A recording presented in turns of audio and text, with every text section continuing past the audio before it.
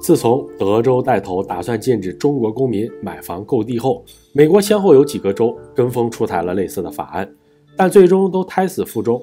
就连带头大哥德州都推进的相当不顺利。然而，令人没想到的是，一个平时丝毫没有存在感的州，竟然闷不作声地将这个法案通过了。现如今，就等着州长点头签字落成法律了。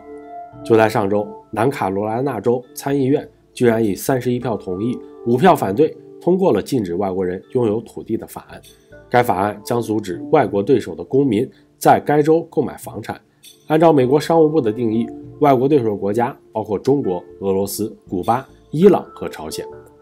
由于在南卡居住的华人很少，所以导致此法案通过后才引起了全美范围内的关注。小编翻看先前的报道，发现针对该法案，于本月七号有过一场听证会，但当时显然没有引发足够的反对声。目前通过的这条代号为 S 五七六的法案，经过了几个版本的修正。尤其是对法案中的术语进行了新的定义，比如将由敌对国家控制的企业定义为包括由敌对国家公民全资或占股百分之十以上的企业在内，且将敌对国家公民全资或者占股百分之十以上的企业购买土地的限制由原来的五十万亩减少为一千亩，并规定只要是敌对国公民占股的企业在南卡州范围内就不得从任何房产中获得利益。这个修改后的法案，其实就与我们开头提到的德州引起华裔群愤的禁止包括中国在内的四国政府、公民和个人购买土地十分的相似。因为根据联邦法规网站所述，中国现在是美国位列第一的敌对国，这也就意味着该法案的实施将对在美华人有着最大的影响。当时在南卡州举行的听证会上，其实南北卡地区华人。已经积极组织，最大程度地做出应对措施。美国亚太裔公共事务联盟南北卡分会鼓励华人到听证会现场作证发言，积极发声，希望尽最大的努力阻止这种歧视性的法案进入下一步程序。然而，可能由于当地的华人群体太过少数，所以这个抗议声显然没有引起足够的重视。据美联社的报道，该法案的主要发起人参议院多数党领袖 Shan Masey。在二月下旬提出该法案，以阻止一家中国生物医药公司斥资两千八百万美元购买该州的五百英亩的土地。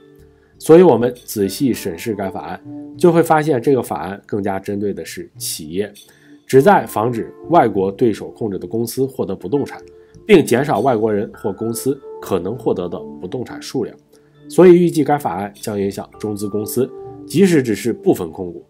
当然，中国公民也不得集体拥有一家土地公司百分之二十以上的股份，或个人拥有超过百分之十的股份。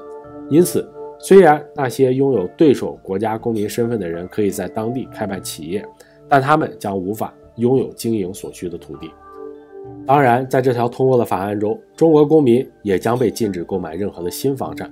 居住在南卡罗来纳州的外国对手国家移民必须首先获得美国永久居留权。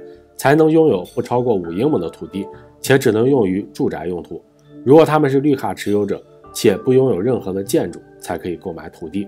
快速总结的就是，中国公民，比如留学生或者 H1B 等，被禁止购买任何新房产。绿卡持有者可以购买五英亩以下的土地作为居住用途，只有入籍后才不受任何的限制。目前，在美国至少有十一个其他州已经开始考虑立法限制或禁止外国对手的土地所有权。包括德州、佛罗里达州、阿肯色州、南达科他州和其他八个州也都在考虑立法限制外国人持有不动产。所以，这场全美范围内的歧视华人行动，南卡仅仅只是打出了第一枪。接下来，我们还会有更艰难的斗争。APAPA 南北卡分会主席朱超威博士表示，这个修正案的迷惑性很强，以国家安全的名义行限制歧视华裔之实。是排华法案的隐藏升级版。南卡华人侨领王林也表示，自疫情以来，针对亚裔的仇恨日渐抬头。如果现在再以法律的形式固定下来，仇恨与歧视只会变本加厉，越演愈烈。他提醒，法案虽然针对中国公民，但华裔即使已经入籍，也不可能每天上街都秀出美国护照。所以，这个法案最终影响一定会波及所有华裔。我们一定要积极发声，不能做哑裔。在有理有据的前提下，积极合理的抗争。南卡的法案已经被参议院通过，处于一个非常被动的局面。但当地的侨领也正在想办法，尝试做出最后的狙击。更为重要的是，希望类似的法案不会再被除南卡以外的州府通过。这就需要全体华人同胞的共同努力了。如果您喜欢本期视频，请关注、点赞并分享，下载 App 解锁更多功能。我们下期再见哦。